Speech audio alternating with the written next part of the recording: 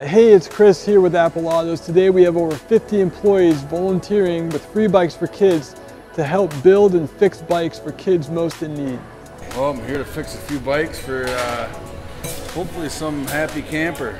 It brings us all together and we're doing something for somebody else.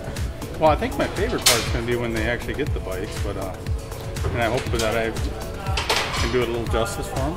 It's really fun to see these bikes get clean and realize a kid's going to come in here and have a bike that doesn't have a bike. Is an awesome feeling that you know that there's going to be a kid coming in here with a big smile on their face to get a new bike. Um, I think it's awesome to work for a company that's so willing to help. I don't think a lot of dealership groups do that, and it's good to good to know that we're out there helping.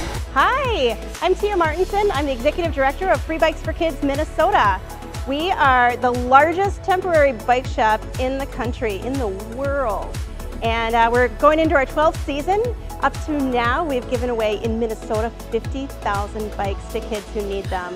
So we can't do all of this alone. We have a very small seasonal staff. We work between October when we collect the bikes through mid-December when we give all of the bikes away.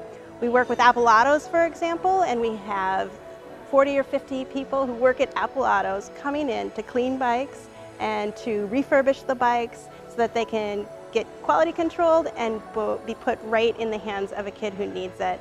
At Apple Autos, we know our people are one of the most important assets we have. And right along with that, we love supporting the communities that we do business in. So partnering with an organization like Free Bikes 4 Kidz really brings those two worlds together and is a really exciting opportunity for us.